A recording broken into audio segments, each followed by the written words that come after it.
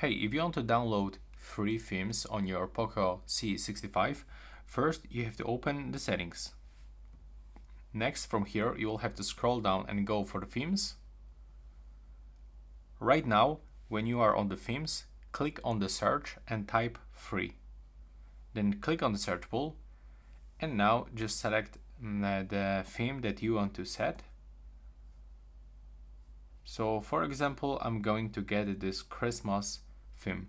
So I have to click on it and before applying I can also, oh never mind, I'll just click download and now just wait for this downloading process. And now when it's downloaded I can click customize and here I can select on un unselect the customize options. So for example, if I want to change only like lock screen, home screen wallpaper and the system and stay with the default icons, I can unselect the icons then I have to click apply and after a few seconds, as you can see, my theme has changed. And yeah, that's all right now. Please subscribe to my channel. Bye bye.